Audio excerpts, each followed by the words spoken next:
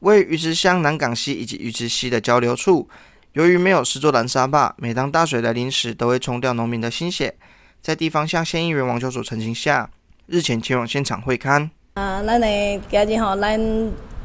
管政府吼啊，秋楚来提议之后吼，有咱的。诶，南港溪甲咱的鱼池溪的交界处吼，啊，因为有乡亲咧甲邱叔提议讲，这个部分是不是会当来做着咱的南沙坝的部分吼？因为即摆拄啊是大冬季，所以较无水，啊来施作来规划是上好的时间吼。因为王秋叔也指出，由于没有南沙坝，因此只要大水一来，农民都损失惨重。而目前正是干旱期，相当适合来做河川整治的工程。希望县府相关单位可以多加重视农民的心声。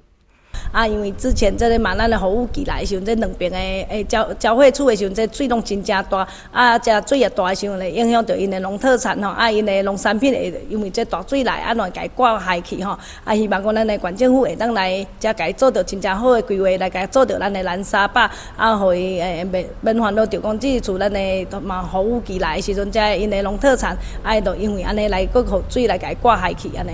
希望在会刊过后，相关单位可以重视地方声音，把握刚案期，并尽速施设拦沙坝，保障农民权益。记者邱品义、于此采访报道。